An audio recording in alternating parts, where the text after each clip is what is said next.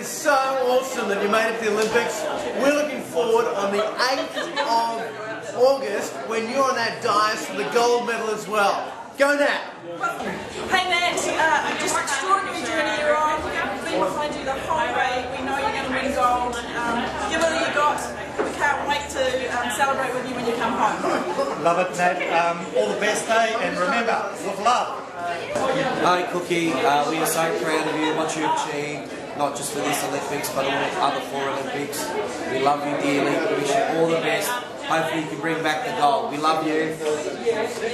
Hi, Kitty. Hello, Baksha Cookie. Hello, Baksha. Hello, Baksha. Wow. Hi Nat, here we are again, this time London. What an exciting career, five Olympics, extremely proud of you. I don't know of any other athlete who's achieved what you have.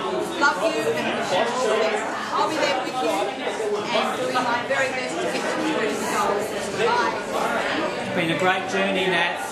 Wonderful achievements, great courage. You're going to do great in London, we know. Thinking of you, supporting you all the way. Hey, Nat, make sure you win over there. No, no excuses, no injuries. We'll see you when you get back. Hey Nat! You guys are awesome. Get out there and make it happen. We know you can do it.